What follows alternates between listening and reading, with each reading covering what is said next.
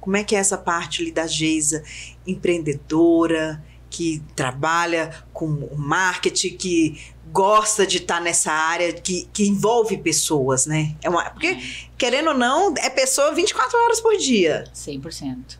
Tanto do lado, né, como é, pessoas que trabalham com a gente, mas também com o cliente, né?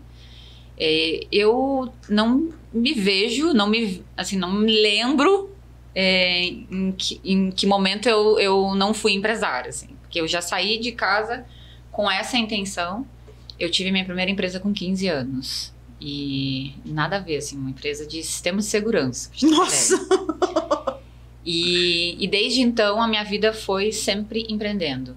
Então eu sempre fiz parte da parte comercial, gestão, marketing. E aí fui indo. Depois eu fui para a área de show business, foi onde eu conheci o Kaká. É, aí depois a gente saiu, a gente veio morar para Goiânia por conta da. Pode falar a marca? Pode!